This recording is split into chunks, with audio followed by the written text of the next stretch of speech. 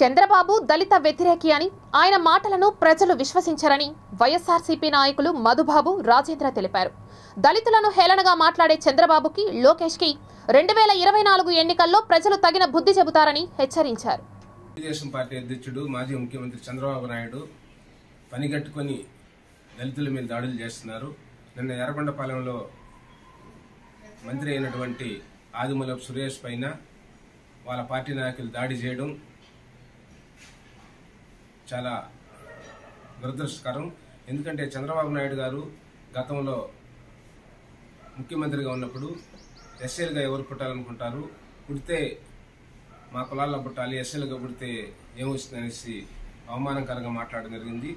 నిన్- నిన్న జరిగిన సంఘటన ప్రజాస్వామ్యానికి తీరని అవమానం. ఎర్రగుంట్లపాలెంలో ఒక సీనియర్ మంత్రివర్యులు దళిత నాయకుల పైన మీరు చేసు చేయు భాష పరజా పదజాలము ఎస్సీలపై మీకు ఫస్ట్ నుంచి చిన్న చూపు. గతంలోనే మీరు ఎస్సీలు పుట్టాలా అన్న వ్యక్తి మీరు నారా చంద్రబాబు నాయుడు గారు.